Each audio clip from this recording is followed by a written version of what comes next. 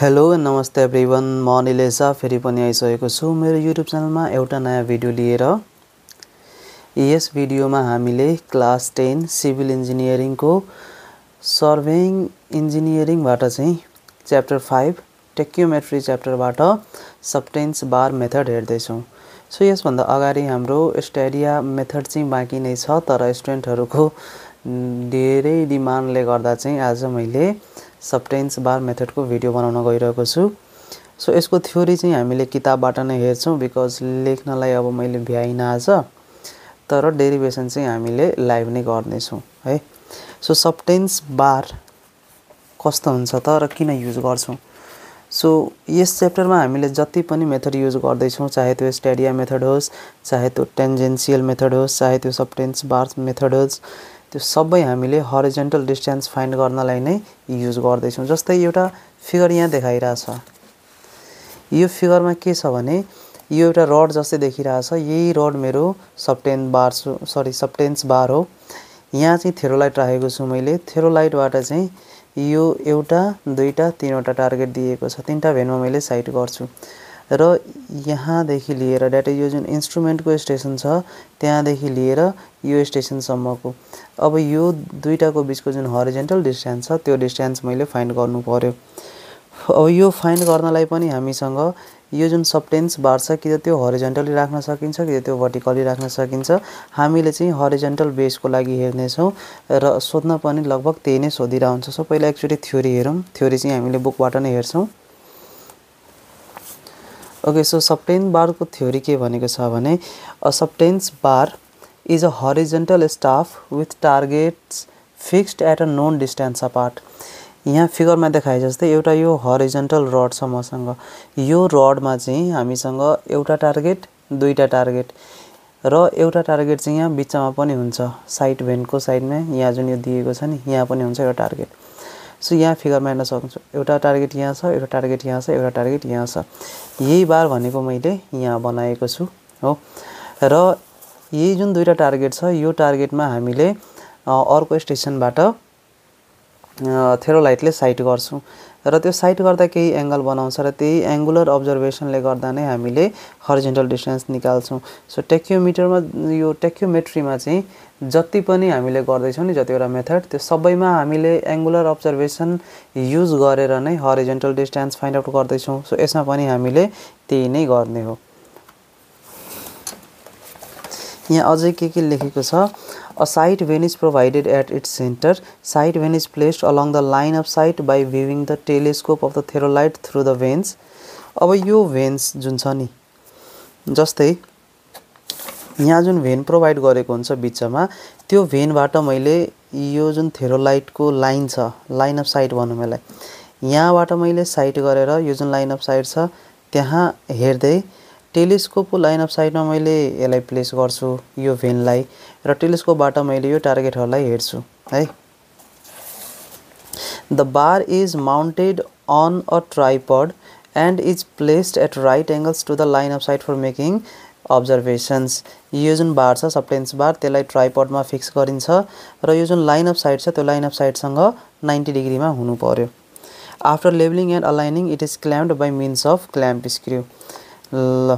अब त्यस पछाडि चाहिँ हामीले यसको लागि केही केही डेरिभेसनहरू गर्नु पऱ्यो यदि थ्री डीमा हामीले हेर्ने हो भने थ्री डीमा हामीलाई यस्तै केही देखिन्छ।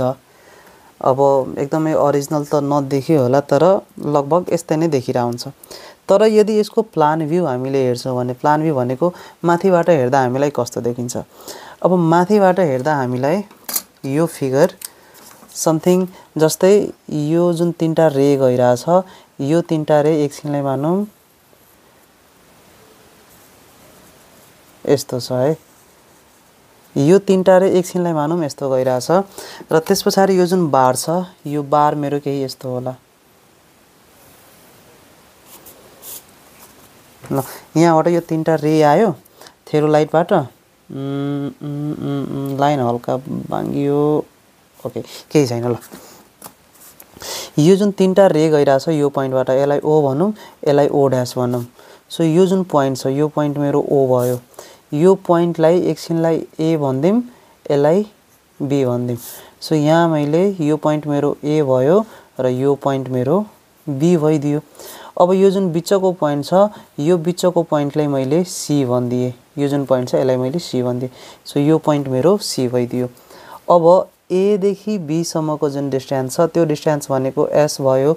स्टाफ इन्टरसेप्ट जुन हामीले पढेका थियौँ पहिले पनि। सो यो डिस्टेन्सलाई मैले एस गरिदिएँ।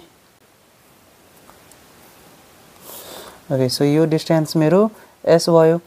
अब एदेखि सीसम्म एस बाई टू सीदेखि बीसम्म एस बाई टू। सो यो डिस्टेन्स भनेको एस बाई टू अनि S by two.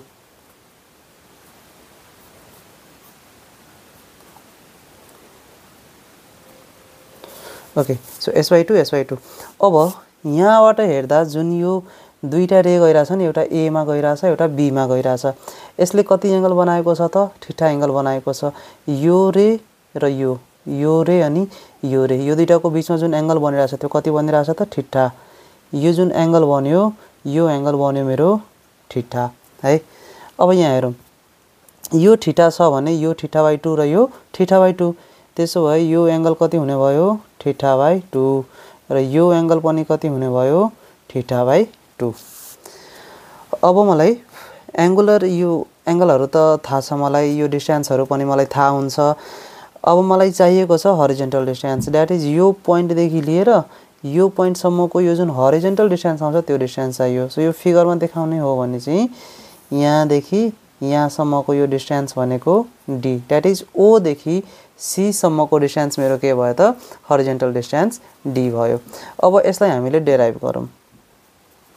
In a right angled triangle OCA OCA है? अब यो ट्रायङ्गलमा चाहिँ यदि मैले ट्रिगोनोमेट्रिक रेसियो कुनै लगाउँछु भने मसँग एस बाई टू नोन छ मसँग डी नोन सरी डी त मलाई चाहिएकै हो मसँग ठिटा नोन छ। सो पी छ र बी छ। पी र बीको रिलेसन कुनमा आउँछ? टेनमा आउँछ। So tan theta by two is equal to AC by OC AC भनेको कति? S by two divided by OC भनेको डी त्यसो भए D is equal to S by two tan theta by two यो भयो एउटा फर्मुला है? यो भयो एउटा फर्मुला जति बेला हामीलाई ठिठा नर्मली डिग्री मिनट सेकेन्डमा दिएको छ अथवा डिग्रीमा दिएको छ। अब मलाई अर्को कुरा पनि के थाहा छ भने यसलाई मैले अर्को तरिकाले कसरी लेख्न सक्छु? वान बाई टेन भनेको त कट हुन्छ हो कि होइन? वान बाई टेन भनेको कट हुँदैन। यहाँ हेरौँ त डी इज इक्वल टु यसलाई मैले one by tan theta by two into S by two यसरी लेख्न मिल्यो। अब यो one by tan theta two भनेकै कट ठिटा टू हो। सो यसले मलाई के दियो भने D is equal to S by two into cot theta by two चाहे cot theta by two into S by two भनेको कुरा सेम हो। ल यसलाई मैले इक्वेसन वान भनिदिएँ। एउटा फर्मुला मेरो यो पनि हो। जति बेला मलाई ठिठा नर्मली दिएको हुन्छ चाहे यो युज गर्छु चाहे यो युज गर्छु। जेनरली मैले अब टेनसँग हाम्रो क्यालकुलेटरमा साइन कस टेन मात्रै दिएको छ भने मैले के गरेँ त टेनको लागि मात्रै युज गरेँ। एकैछिन है त म क्यालकुलेटर झिकिहाल्छु।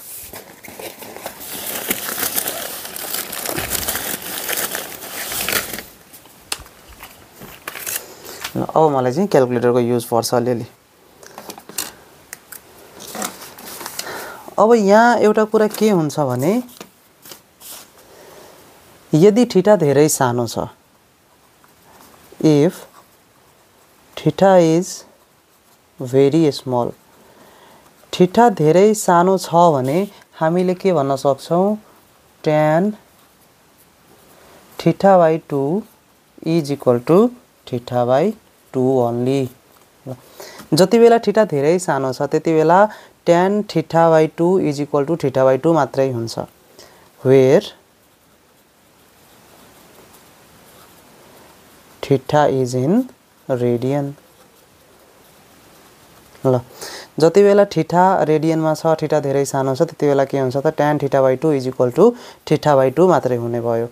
सो अब यसमा हामीले यो जुन इक्वेसन छ D is equal to S by two tan theta by two यसमा हामीले अब यदि त्यो tan theta by two is equal to theta by two put गर्ने हो भने हामीलाई के आउँछ?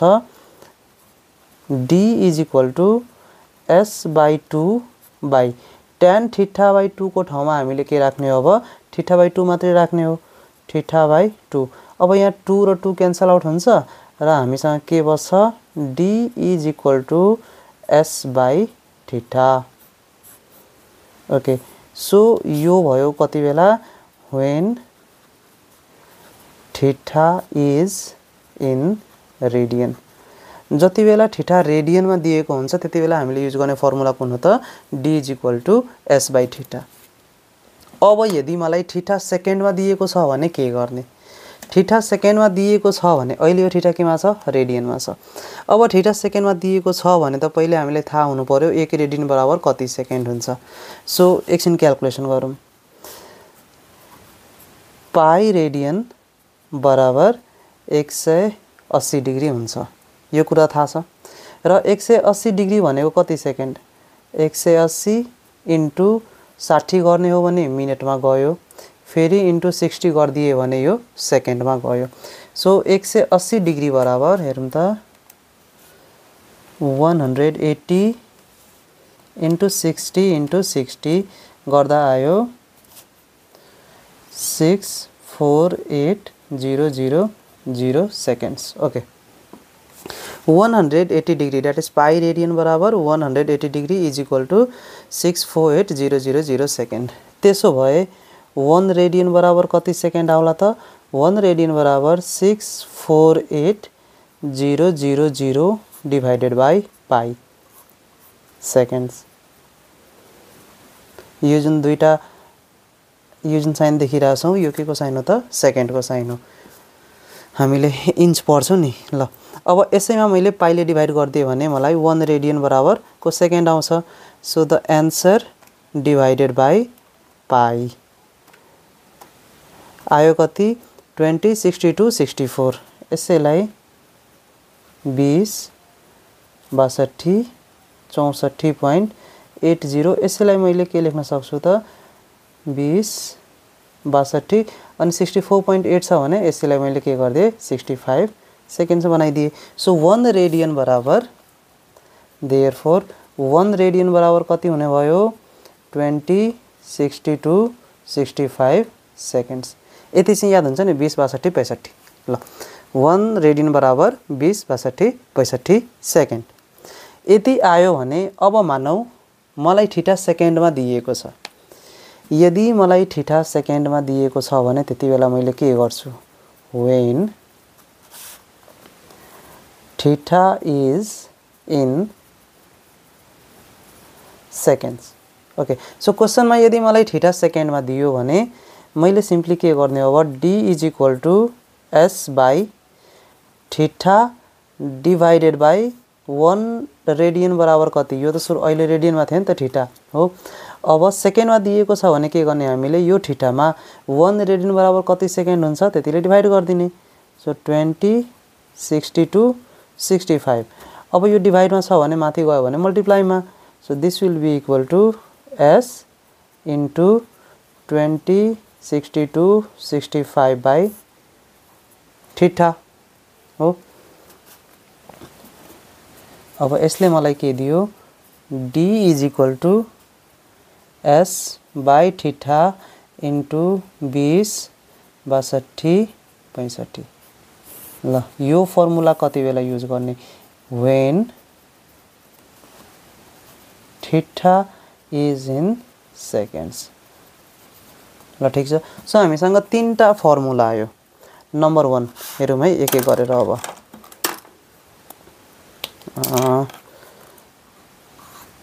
फर्स्टमा मसँग कुन फर्मुला छ?